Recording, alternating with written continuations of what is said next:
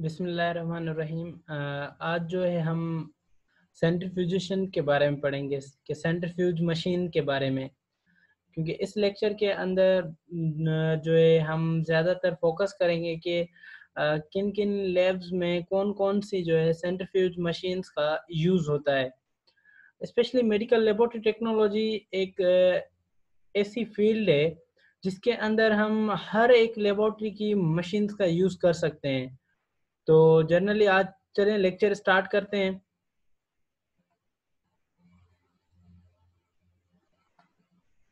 First ये content list है कि हम इनमें से आज क्या क्या सीखेंगे। हम इसकी डेफिनेशन सीखेंगे इंट्रोडक्शन हिस्ट्री प्रिंसिपल और सेंट्रीफ्यूज और टाइप्स ऑफ़ सेंट्रीफ्यूज टेक्निक्स आज हम इसके अंदर ये सीखेंगे क्योंकि एक टेक्नोलॉजिस्ट को मतलब के इतनी एक्यूरेसी का और इतना ही नॉलेज होनी चाहिए about the centrifugation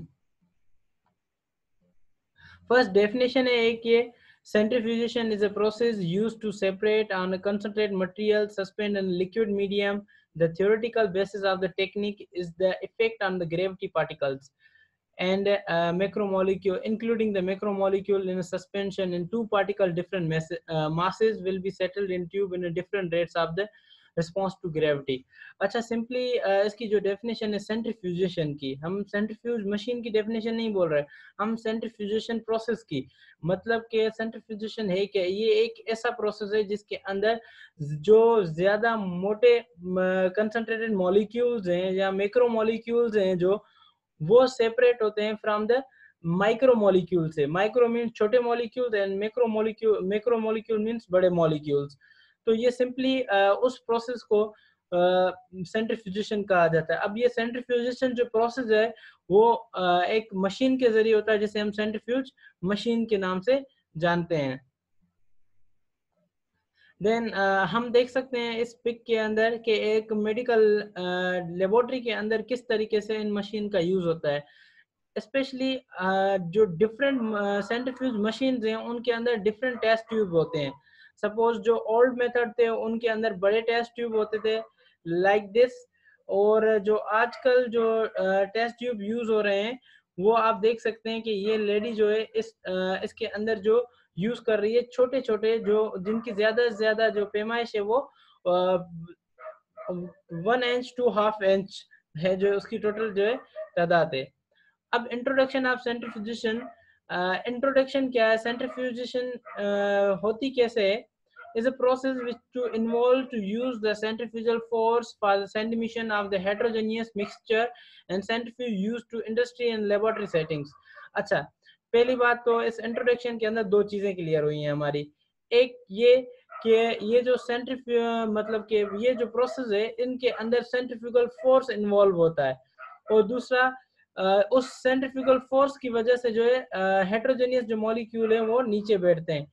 और दूसरा, ये जो है, कहाँ कहाँ यूज़ होता है? स्पेशली ये इंडस्ट्रियल लेबोरेटरी के अंदर भी यूज़ होता है क्लिनिकल लेबोरेटरीज के अंदर भी यूज़ होता है, और जितनी भी साइंटिफिक लेबोरेटरीज हैं, उनके अंदर इस सेंट्रीफ्यूज मशीन का यूज़ होता है, और इस प्रोसेस जिसे हम सेंट्रीफ्यूजेशन कहते हैं, इस प्रोसीजर का भी यूज़ होता है।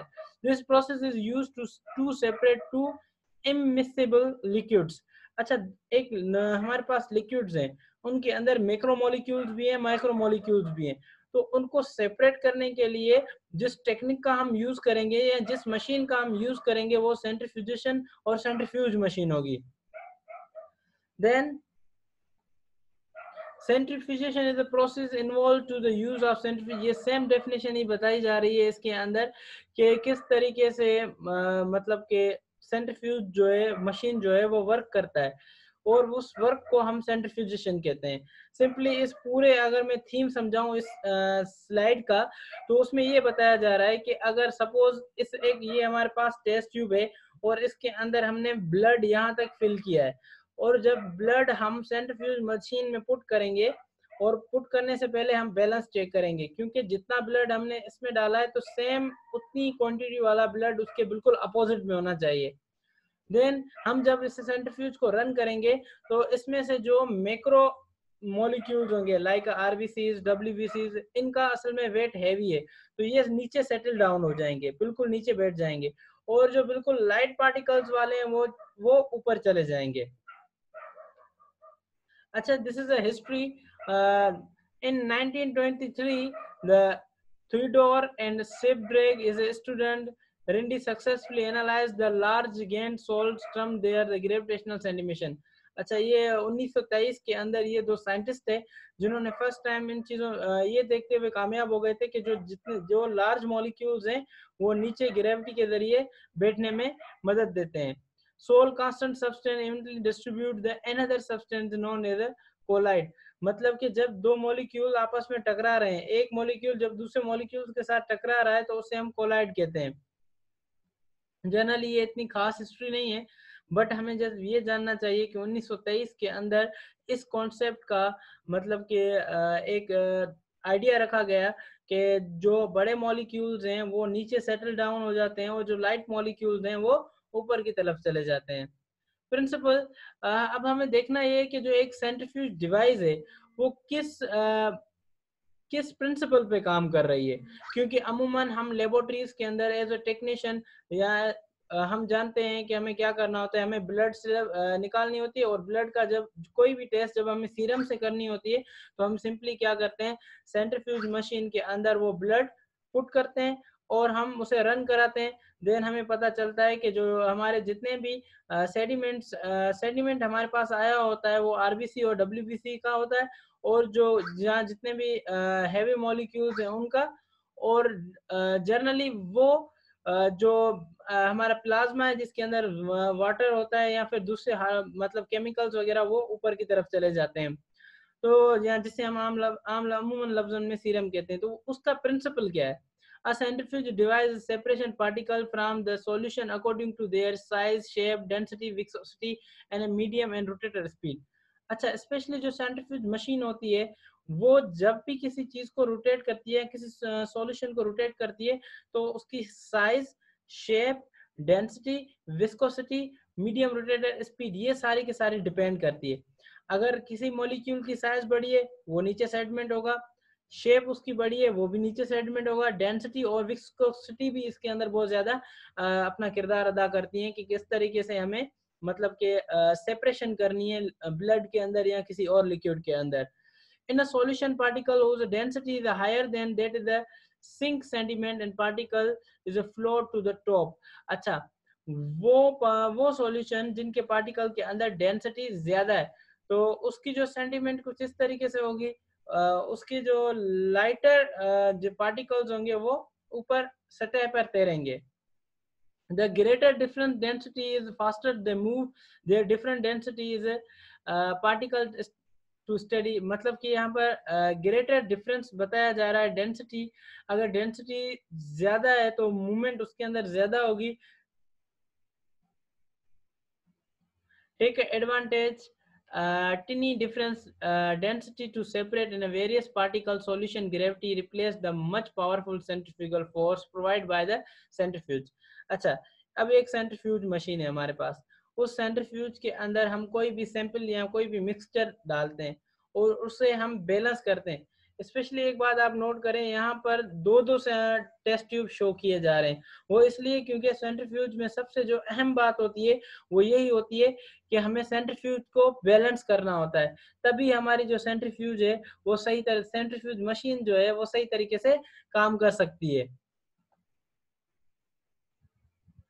Centrifuge. A centrifuge is a piece of equipment that is the object rotation fixed axis and a circle and applying to the potentially strong perpendicular and axis in spin toward अच्छा एक centrifuge uh, क्या है ये एक ऐसा equipment है जो कि ऑब्जेक्ट को रोटेट करवाता है अब वो ऑब्जेक्ट जो है सपोज़ ये फिक्स एक्सिस होता है और बिल्कुल इस शेप में वो इसके इर्द गिर्द ऐसे रोटेट करता है ऑब्जेक्ट मतलब कि एक वन परपेंडिकुलर एक्सेस होता है और एक्सेस पर मतलब कर वो जो है सैंपल को रोटेट करवाता है। Centrifuge work using the sedimentation principle where the centripetal acceleration cause the denser substance and the particular move to outward the radial direction अच्छा सेंट्रीफ्यूज मशीन के अंदर जो है यहाँ पर एक सेंट्रीफ्यूजल एक्सेलरेशन क्रिएट होती है। वो सेंट्रीफ्यूजल एक्सेलरेशन क्या करती है? सेंट्रीफ्यूज के अंदर सेंटिमेशन प्रोसीजर करवाती है। मतलब जो जितने भी डेंसर सब्सटेंस हैं, वो नीचे बैठ जाते हैं और जो लेस डेंसर सब्सटेंस है, वो ऊपर की तरफ़ डाले जाते हैं। सिंपली आप ये अंदाज़ा लगा सकते हैं, जब आप ब्लड का सेंट्रीफ्यूज करेंगे तो जितने भी सेल्स होंगे, वो नीचे बैठ जाएँगे और जो प्लाज्मा या फिर हमारा जो सीरम है, वो ऊपर की तरफ़ चला जाएगा। At the same time The object that are the less dense is displayed and moved central. In the laboratory centrifuge, they use the sample tubes in a radial acceleration cause a denser particle settle bottom in the tube and law of density substance rise the top. अच्छा वही बात जो मैंने कही है कि अगर आप ये क्लिनिकल लेबोरेटरी के अंदर इसका यूज़ कर रहे हैं किसी भी सैंपल के अंदर जो हैवियर मतलब मैक्रोमोलिक्यूल्स होंगे वो नीचे चले जाएँगे और जो लेस मतलब के मोलिक्यूल होंगे वो ऊपर की तरफ़ चले जाएँगे।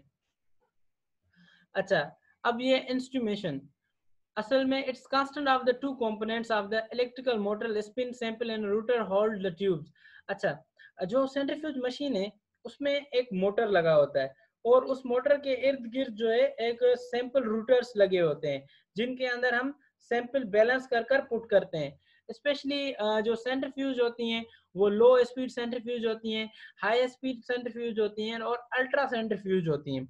लो स्पीड के अंदर आप जनरली मतलब के वो इसकी मखसूस शेप्स होती हैं जो हम नेक्स्ट क्लास में डिस्कस करेंगे।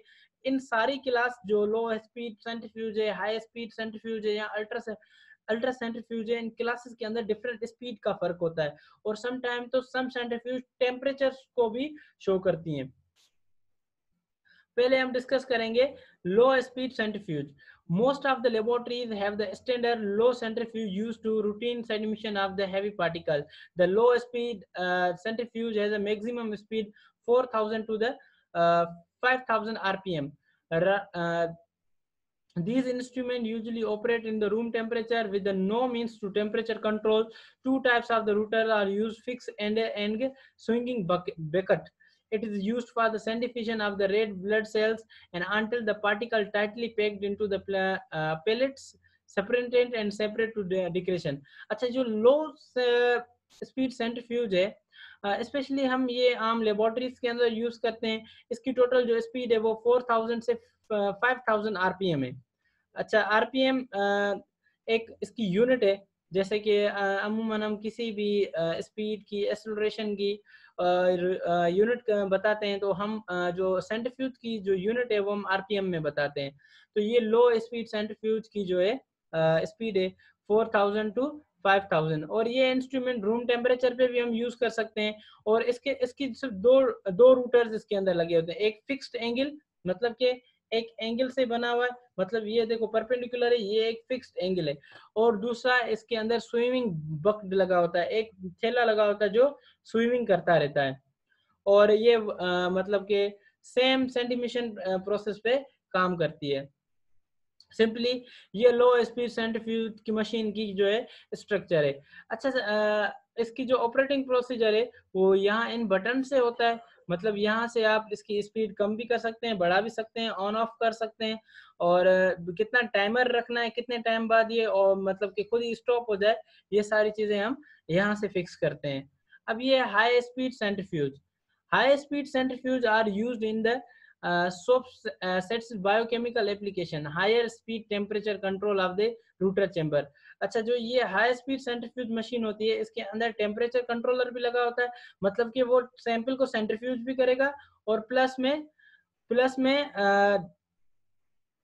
प्लस में जो है ये टेम्परेचर को भी कंट्रोल करते करता है। इस सेंट्रीफ्यूज के अंदर एक चेंबर लगा होता है, जो मैं नेक्स्ट स्लाइड में आपको दिखा सकता हूँ कि इसके बिल्कुल इस साइड में जो है एक चेंबर लगा होगा, जो कि टेम्परेचर को कंट्रोल करेगा और ये बिल्कुल इसके बहुत डिजिटल सिस्टम पर लगे होते हैं। मतलब ये अमूमन मोलिकुलर जो लैब्स होती हैं जेनेटिकल लैब्स होती हैं, वहाँ पर ये सेंट्रीफ्यूज का यूज़ होता रहता है। और इसकी तकरीबन स्पीड जो है, वो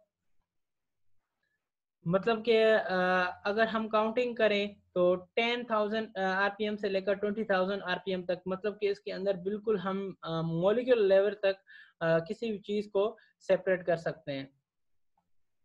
अल्ट्रा सेंट्रीफ्यूज अल्ट्रा सेंट्रीफ्यूज जो है it is the most soft certified instrument intense generation high speed this is a spinning chamber must be the refrigerated keep to high vacuum it used to the both preparative work अच्छा ये जो है ना बहुत ज़्यादा sensitive work पे use होती है और स्पेशली इसके अंदर स्पिनिंग चेम्बर्स लगे होते हैं और इसके अंदर एक बहुत ज़्यादा हमें वैक्यूम की ज़रूरत होती है वो हम यहाँ पे देख सकते हैं Uh, मतलब कि ये क्या है अल्ट्रा सेंट्रीफ्यूज है।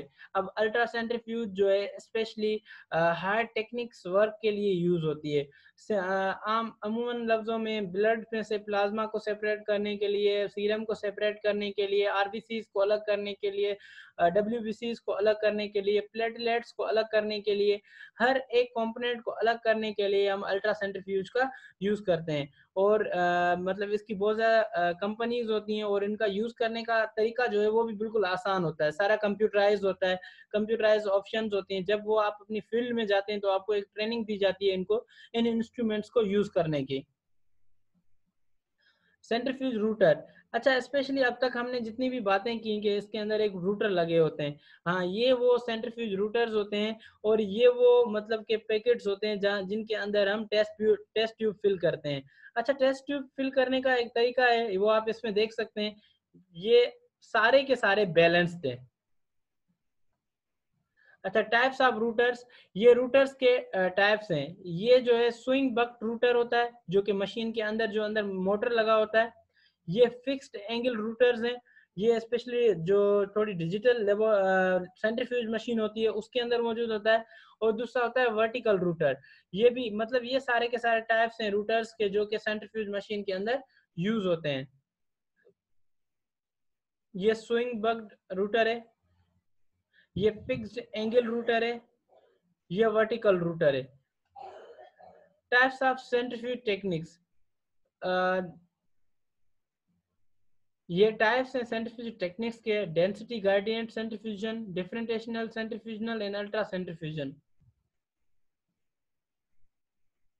वैसे आज सेंट्रीफ्यूज के हवाले से आज ये लेक्चर यहीं पे हम स्टॉप करते हैं। और इनशाला जो हम नेक्स्ट हमारी जो लेक्चर होगा, वो आहिस्ता आहिस्ता इसी तरीके से मतलब कि स्मॉल स्मॉल इंट्रोडक्शन होगा हर एक मशीन के बारे में। जैसे हम बेसिक नॉलेज हो कि ये मशीन क्या है, इसके, इसे यूज़ करने का प्रिंसिपल क्या है और ये क्यों यूज़ होती है स्पेशली यही मकसद होता है एक, ये लेक्चर बनाने का। दोस्त फ्रेंड्स मतलब कि वो फ्रेंड्स जो चाहते हैं कि हम, मैं और ज़्यादा अच्छे वीडियोस बनाऊँ और ये वीडियोस आप आ, मतलब कि आपके लिए इंफॉर्मेटिव हों तो काइंडली आप कमेंट में क्वेश्चंस भी कर सकते हैं। और मानता हूँ कोई भी इंसान जो है वो कंप्लीट नहीं होता मगर हम साथ मिलकर सीखेंगे।